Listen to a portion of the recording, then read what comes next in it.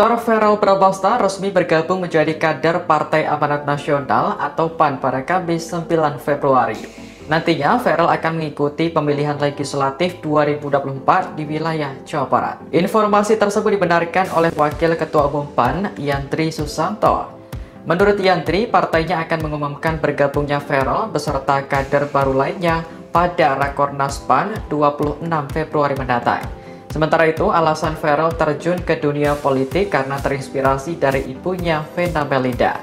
Diketahui Vena sudah lebih dahulu terjun ke dunia politik dengan menjadi anggota DPR RI. Berbeda dengan Farrell, Vena saat ini merupakan kader Partai Perindo. Lebih lanjut, Farrell menjelaskan dirinya akan fokus pada program yang berkaitan dengan generasi Z. Selain itu, juga merangkul kalangan perempuan serta seluruh keluarga.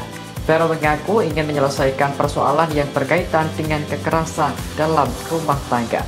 Mama dan papa aku adalah dua sosok yang sangat berinspirasi dan juga orang yang sangat uh, influence dalam hidup aku. Aku sudah melihat mama dan papa di dunia politik dari aku kecil. Sebetulnya mama 10 tahun di DPR, papa adalah orang yang dulu membimbing mama masuk politik. Jadi dari kecil tuh aku udah melihat mama kampanye, turun ketemu sama konstituen-konstituen, ada tiga alasan simpel kenapa akhirnya aku memutuskan untuk terjun ke dunia politik.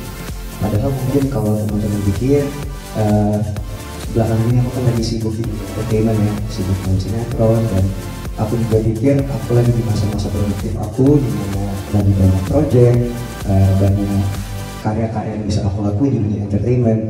Cuma kalau pertanyaannya adalah kenapa aku memilih untuk ikut berpolitik, masuk partai politik sebenarnya ada tiga.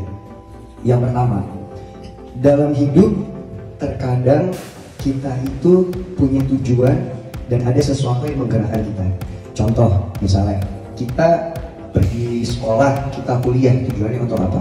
Untuk mendapatkan gelar misalnya, untuk uh, menjadi pintar. Kenapa kita bekerja misalnya? Untuk mendapatkan uang misalnya. Ada yang tergerak karena uang, ada yang tergerak karena gelar, tapi kalau untuk aku pribadi dengan banyaknya pengalaman hidup yang udah dilewatin ya aku tergerak ketika aku bisa membantu orang dan juga membahagiakan orang. Dan itu mungkin adalah salah satu alasan kenapa aku milih dunia entertainment pada saat itu. Karena aku melihat oh dengan aku main sinetron misalnya aku masuk acara TV banyak orang-orang yang bisa bahagia dan juga banyak anak-anak muda terutama yang bisa terinspirasi misalnya dengan apa yang aku capai, bisa apa yang aku lakuin dengan pekerjaan aku. Jadi kembali lagi ke pertanyaan yang kenapa politik. Yang pertama, karena aku tergerak ketika aku bisa membantu orang. Dan ketika aku menggunakan uang pribadi aku, misalnya mungkin teman-teman media tahu lah aku kalau sama teman, sama sahabat, sama keluarga itu aku royal banget. Tapi scope-nya, ruang lingkup yang bisa aku bantu hanya sekedar di situ aja. Tapi ketika aku menjadi diplomat, menjadi politisi, jumlah orang yang bisa aku bantu akan jauh lebih banyak lagi. Itu yang pertama. Yang kedua mama. Mama dan papa aku adalah dua sosok yang sangat menginspirasi dan juga orang yang sangat uh, berinfluence dalam hidup aku. Aku udah melihat mama dan papa di dunia politik dari aku kecil. Kebetulan mama 10 tahun di DPR papa adalah orang yang dulu membimbing mama masuk politik. Jadi dari kecil tuh aku udah melihat mama kampanye mama dulu ketemu sama konstituen-konstituen mama bisa membantu banyak orang dan situ ada kebahagiaan tersendiri yang aku lihat bahwa ketika kita bisa berguna dan bermanfaat buat banyak orang itu ada satu kepuasan dan kebahagiaan tersendiri yang akhirnya tuh tak ternilai gitu. Jadi aku lihat apa sih emangnya mama tuh dari DPR ngapain sih kerjanya? Kan fungsi DPR ada tiga ya legislasi anggaran sama pengawasan. Tapi yang paling penting yang benar-benar di hati aku ketika mama turun ketemu orang adalah tugas DPR adalah untuk menyerap dan juga menjadi kepanjangan tangan, menjadi jembatan buat aspirasi-aspirasi masyarakat. Dan aku merasa seperti yang Kak Putri bilang tadi, sekarang jumlah milenial sama Gen Z itu kita mendominasi kita 50 sampai 60 persen. Jadi alangkah baiknya kalau aspirasi-aspirasi dan juga keinginan-keinginan teman-teman aku yang seumuran aku milenial Gen Z itu bisa diwakilkan oleh orang yang juga milenial yaitu aku. Dan yang ketiga, seperti yang aku bilang tadi dengan aku di politik aku akan bisa menyentuh hidup lebih banyak orang membantu lebih banyak orang dan aku rasa hal itu adalah yang membuat kedua orang tua aku bangga. Jadi itu kenapa aku memutuskan untuk memilih karena menurut aku PAN itu memberikan aku kesempatan. Mungkin uh, teman-teman di sini atau banyak netizen juga yang berpikir apa sih backgroundnya? Kenapa sih meremehkan gitu loh. Apa sih padahal tidak ke politik segala macam. Tapi itu sama sekali tidak aku rasakan sama partai amanat nasional sama Mas Eko sama Kak Putri sama uh, Bang Zul ketua umumnya Pak mereka sangat merangkul aku mereka mensupport aku bahkan mereka akan mengajarkan dan membimbing aku nanti untuk ke depannya berpolitik itu seperti apa. Jadi menurut aku hal itu memberikan kesempatan memberikan ruang untuk anak-anak muda untuk bisa didengar untuk bisa menaruh ide-ide dan aspirasi mereka dan juga benar-benar bukan hanya lip service tapi terbukti bahwa di PAN sendiri banyak banget kader-kader yang DPR yang uh, apa pun itu yang masih muda gitu jadi aku rasa ini kendaraan politik yang sangat cocok dan pas banget buat aku.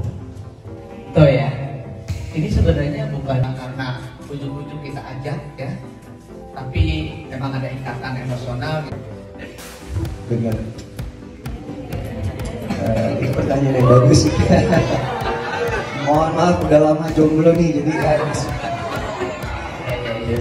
Ya, itu pertanyaan yang bagus sih kak. Jujur um, ini adalah salah satu crossroad ya persimpangan hidup yang aku hadapin lagi yang menurut aku agak-agak berat gitu dan ini aku udah mikirin ini cukup lama udah sekitar setahun dua tahun kebelakangan aku discuss sama papa kebetulan pak gimana pak uh, kayaknya kan di entertainment yang seperti kakak bilang ya aku lagi menikmati banget alhamdulillah lagi banyak pekerjaan juga gitu. jadi untuk meninggalkan dunia entertainment dari artisan tuh cukup berat buat aku.